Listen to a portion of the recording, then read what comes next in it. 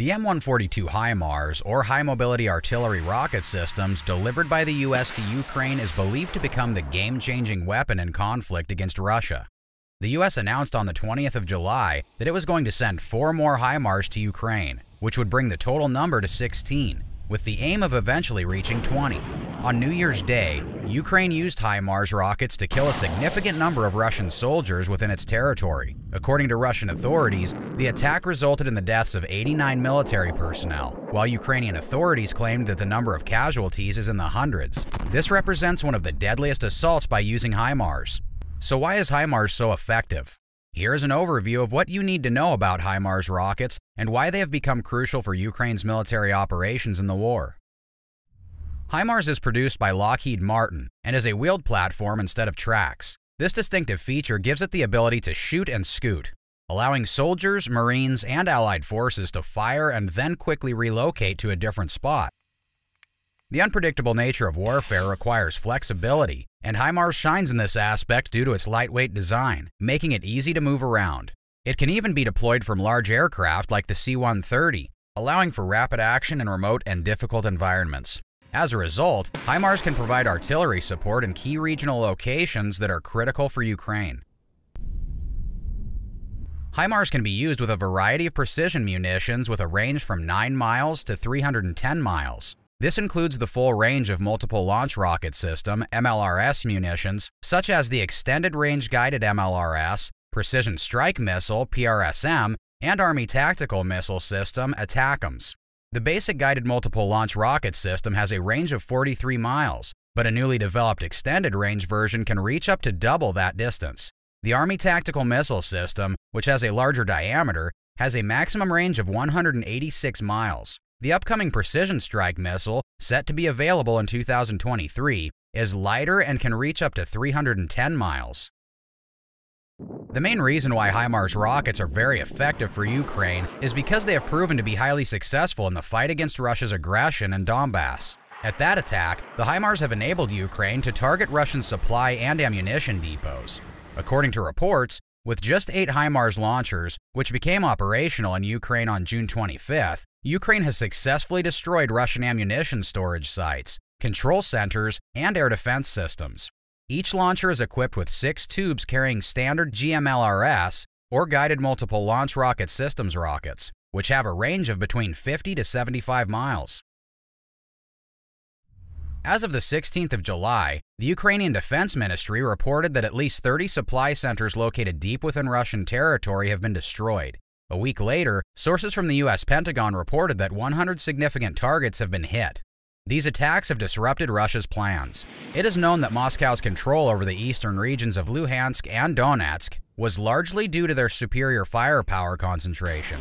Ukrainian soldiers who withdrew from these fronts reported being unable to defend themselves and could only take cover. By targeting Russian logistics centers using HIMARS, Ukraine has undermined the source of Russia's strength. Additionally, the HIMARS played a crucial role in Russia's withdrawal from Kherson.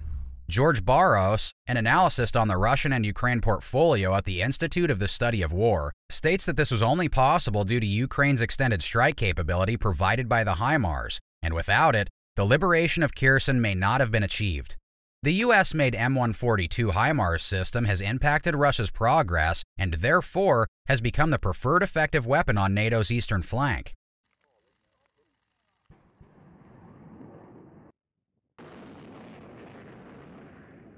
Another reason why the US M142 HIMARS is so effective on the ground in Ukraine is because of its ability to launch six GPS-guided 227mm rockets with a range of 49.7 miles and precision accuracy between 5 to 11 yards.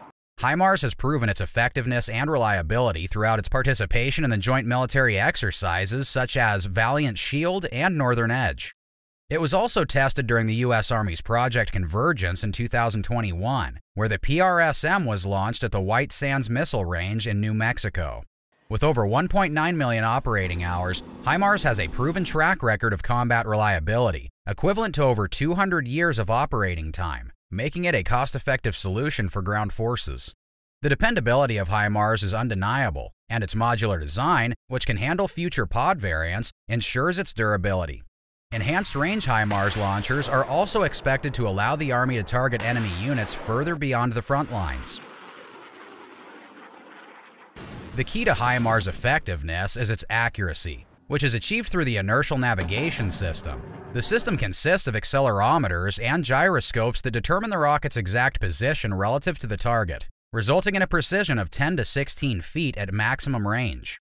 Konstantinos Grivas, an expert in advanced weapons systems at the Hellenic Army Academy, stated that HIMARS and GMLRS provided exceptional strike precision.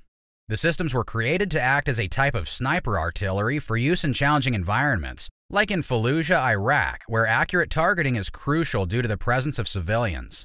This allows for quick response to incoming fire from a building within an urban area, with a rocket hitting its target within minutes of the attack from a distance of up to 50 miles.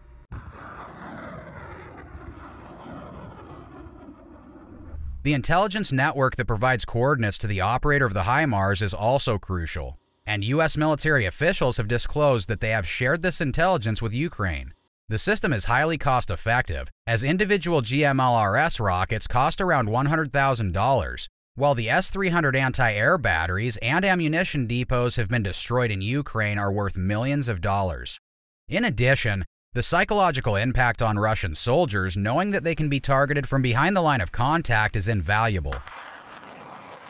However, U.S. officials have stated that there are restrictions placed on the HIMARS rockets provided to Ukraine. They are not allowed to fire ATACMS missiles, which have a range of nearly 200 miles. The U.S. has also sought assurances from Ukraine that the HIMARS systems will not be used to attack Russian territory. Analysis believe that these restrictions are the U.S.'s way to prevent their support for Ukraine escalating to a larger conflict between the U.S. and Russia. In the near future, according to Al Jazeera, the U.S. military is set to introduce a newer and advanced version of the HIMARS rocket, named the Precision Strike Missile PRSM, with a range of 310 miles. This upgraded capability, if provided to its allies in the region, would allow them to target areas close to Moscow. Also, the U.S. Armed Forces are currently working together to outline and execute Joint All-Domain Operations, JADO, a concept that involves linking multiple sources across air, land, and sea to create a more cohesive force. The JADO concept is crucial for securing the U.S. and its allies, and Lockheed Martin is aiding all domain efforts by supplying tools and taking part in joint exercises.